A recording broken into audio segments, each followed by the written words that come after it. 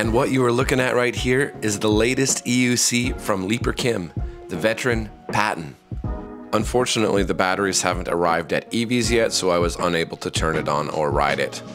The Patton is basically a Sherman S, but it has been redesigned, so there are some differences.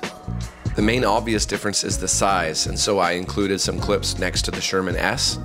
The battery capacity has naturally gone down from the Sherman S to 2200 watt hours, but the voltage has gone up from 100 volts to 126 volts.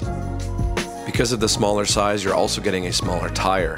From what I can see, it looks closer to an 18 inch V11 size tire, but time will tell.